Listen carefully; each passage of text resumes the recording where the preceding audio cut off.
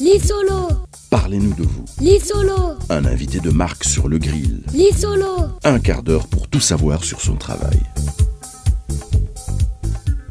Amis de l'émission Lissolo sur Radio Mboté, c'est avec beaucoup de plaisir que je vous retrouve encore une fois pour vous présenter un événement, un événement qui euh, lui-même va être commenté par son initiatrice, Flor Tokozinga. Bonjour. Bonjour. Détentrice d'un graduat en marketing et d'un diplôme issu de sa formation de technicien comptable, Flore Tokozinga a une solide expérience dans la comptabilité.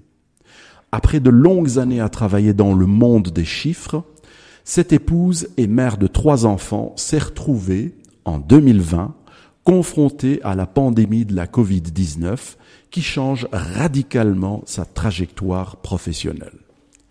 Flore participe à des expositions de bijoux dans des marchés, des conférences et des festivals, puis ouvre des boutiques éphémères à Wavre, à Waterloo et à Bruxelles.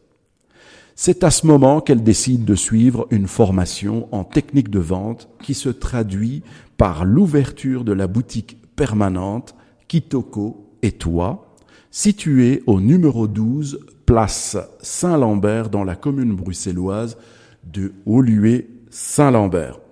Uru Feest, qui est la fête de l'indépendance du Congo, qui va se dérouler évidemment le 30 juin. Mais avant d'aborder ce sujet, revenons un peu en arrière et parlons de l'ASBL Kitoko. Dites-nous tout, chère Flore. L'ASBL Kitoko a une mission, a reçu une mission. C'est juste euh, de faire la promotion de l'artisanat d'origine africaine. L'idée, c'est de mettre en lumière ces petites mains qui travaillent en coulisses, des fois qu'on ne voit pas, on voit juste des belles choses, mais on ne sait pas d'où ça vient, qui a eu l'idée, qui a eu l'initiative, on ne les connaît pas. Et d'autres qui n'ont même pas la grâce d'arriver jusque dans un magasin ou sous les lumières. Mais c'est des choses qui sont tellement belles. Raison pour laquelle nous nous appelons Kitoko. Mhm. L'idée, c'est vraiment de faire sortir ce qui est beau, ce qui malheureusement est caché, mais beau. Alors on essaie juste de les mettre en lumière. C'est ça Kitoko Asbel. Et alors, elle existe depuis euh, combien de temps cette Depuis 2018. Donc, je rappelle ASBL pour Association sans but lucratif. Exactement. Le début a commencé, au fait, j'ai accompagné une amie en, en Ouganda pour son mariage.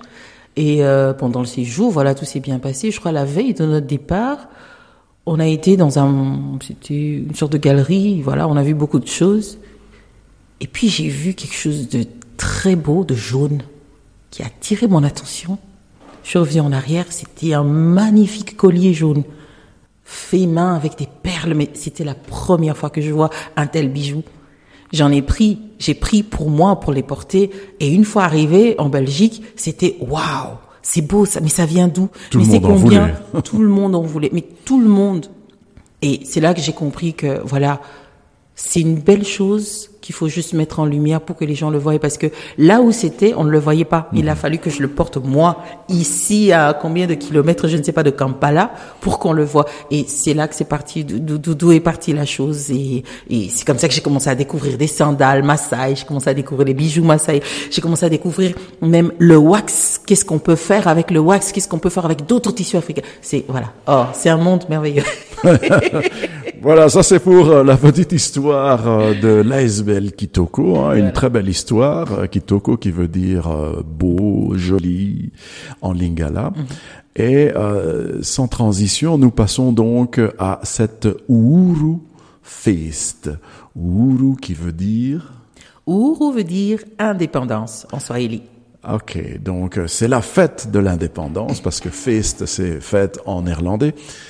Et donc, ça se passe le 30 juin.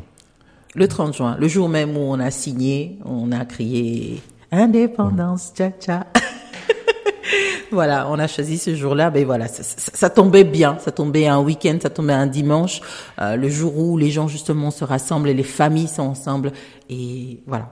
Et il faut rappeler que c'est une fête de l'indépendance du Congo. Du Congo mais il faut rappeler que c'est la Belgique qui a octroyé cette indépendance. Donc nous sommes en Belgique, c'est une fête qui est liée entre les deux pays. Et alors, qu'est-ce qui se passe exactement?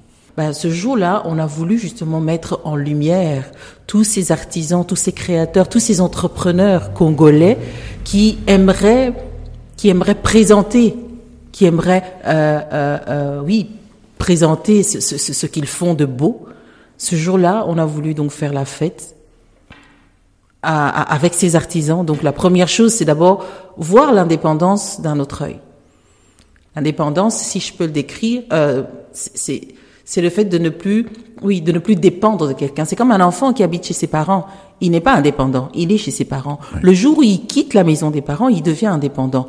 Mais est-ce que c'est pour ça qu'il devient un mauvais? Est-ce que c'est pour ça qu'il faut se déchirer? Non, c'est un nouveau départ. Et pour moi, l'indépendance, ce jour-là, on va le voir comme ça, un nouveau départ. Ça peut être un nouveau départ pour quelqu'un qui a peut-être des idées, mais qui n'a pas encore le courage de le mettre en pratique. Ce jour-là, en voyant tous ceux qui ont fait des choses, parce qu'il y aura des témoignages des artisans, en voyant, en écoutant ça, peut-être que ça peut encourager quelqu'un à commencer quelque chose. Donc c'est un jour, c'est un, c'est un nouveau départ pour quelqu'un.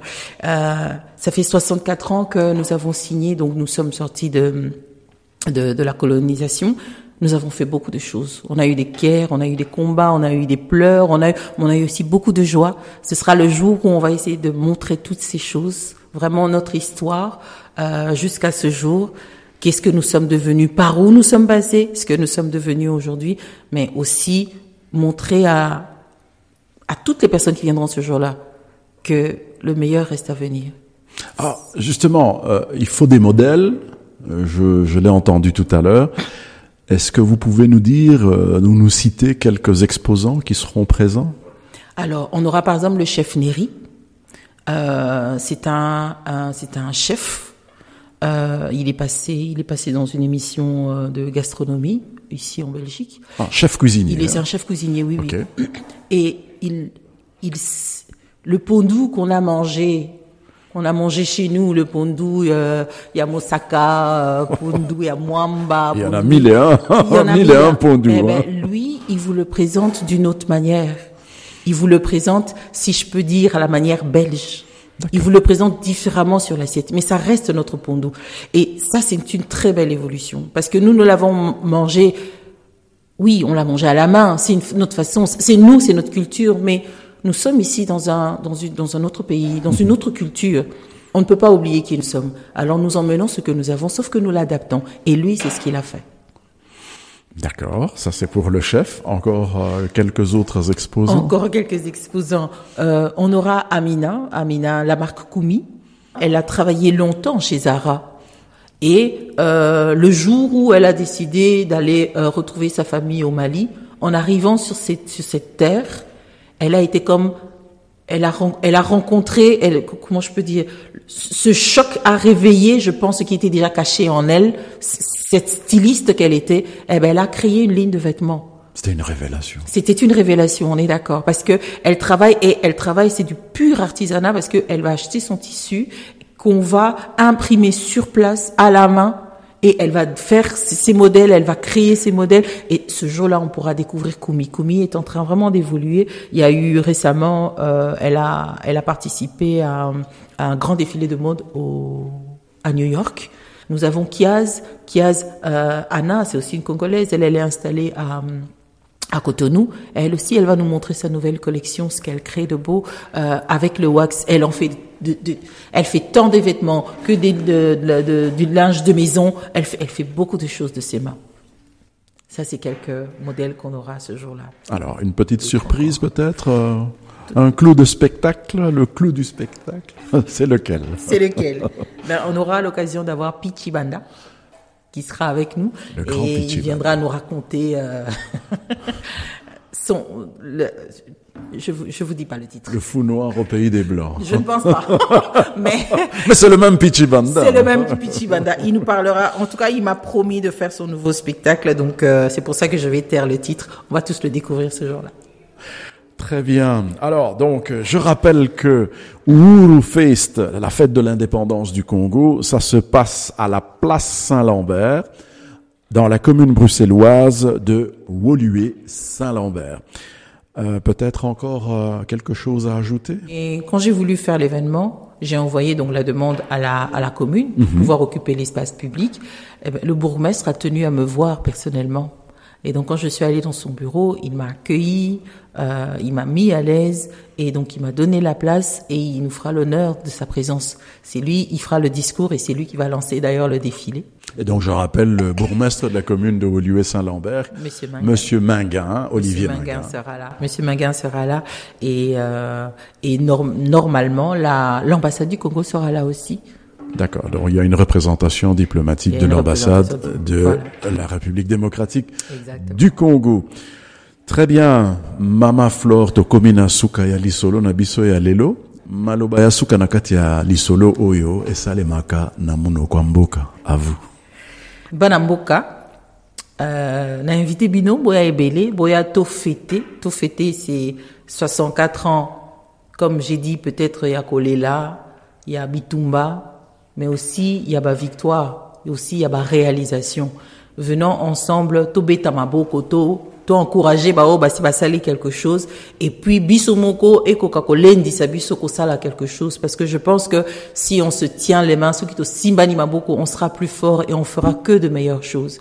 Je nous invite tous à venir. Tokolia tabac mikate. On va danser au rythme de la rumba. Donc venez nombreux on vous attend Et voilà, c'est sur ces beaux mots que nous allons mettre un terme à notre lissolo de ce jour. Et comme d'habitude, si vous voulez réécouter cette émission, vous allez sur notre site www.beauté.be. Ça, c'est pour écouter l'émission et réécouter tous les podcasts qui ont été produits jusqu'à ce jour. Ensuite, vous pouvez revoir cette émission, la voir et la revoir sur notre chaîne YouTube Beauté TV. Et enfin, vous pouvez vous associer à nos réseaux sociaux que sont Facebook, Instagram et TikTok. Que la paix des ménages soit avec vous.